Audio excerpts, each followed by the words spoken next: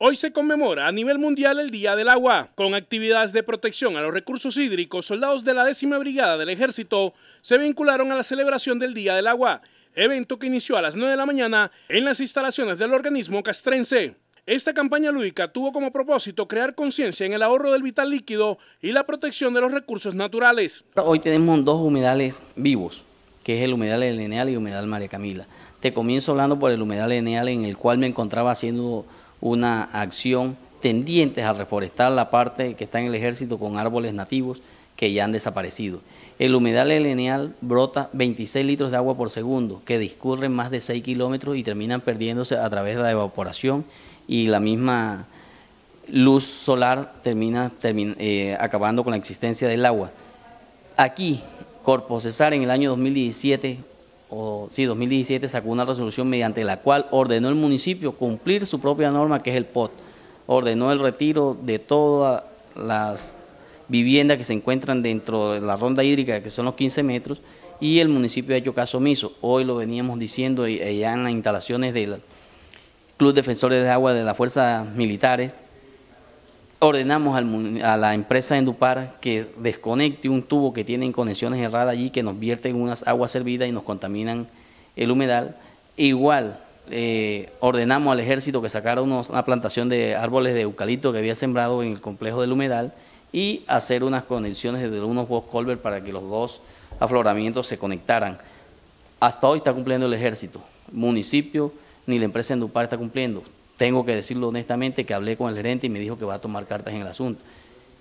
El humedal, el lineal, si se planifica, puede servir para abastecer a 70 mil personas de agua con un acueducto alterno, porque tengo que decirlo honestamente que si no nos llueve en un mes, entramos en racionamiento de agua. De igual manera, a las 7 de la mañana en el sector del río Guatapurí, conocido como Playa Maravilla, se realizó una caminata ecológica. Simultáneamente, en la sequía Las Mercedes, se llevó a cabo una jornada de limpieza y siembra de árboles con el apoyo de la Policía Nacional.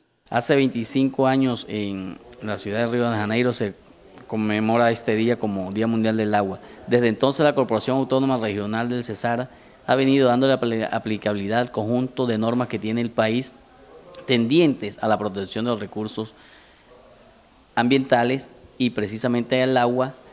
Hemos hecho los PONCA, los planes de ordenamiento de las cuencas hídricas, tenemos los POR, los famosos PORAYE, que son los planes de ordenamiento del recurso hídrico, tenemos los planes de manejo en la serranía del Perijá, la declaratoria de reserva de área protegida en la serranía del Perijá de 24 mil hectáreas, tenemos en el sur el proceso de limitación de los humedales del sur, tenemos en la Ciénega Zapatosa la declaratoria Rancer por el director saliente Caleb Villalobos, quien logró eh, esta categoría para este gran humedal.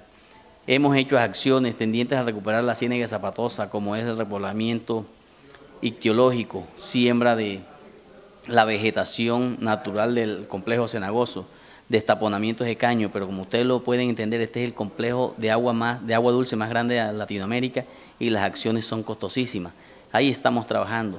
Con respecto a la Sierra Nevada, hemos trabajado el programa Guardabosque Corazón del Mundo, que consiste en comprar predios y abandonarlos para que la naturaleza misma vuelva a poner allí la vegetación natural que conserva el agua. Hemos venido haciendo una trazabilidad en todos los campos de la existencia del agua. También estamos actualizando e hicimos, perdón, el estudio hidrológico de los acuíferos, tenemos el inventario puro de ellos, tenemos también nosotros estudio de todas las corrientes, la situación ambiental de cada una de ellas. Y desafortunadamente la comunidad en general no ha entendido las capacitaciones educativas que le hemos llevado a cada uno de ellos para que protejan el elemento agua.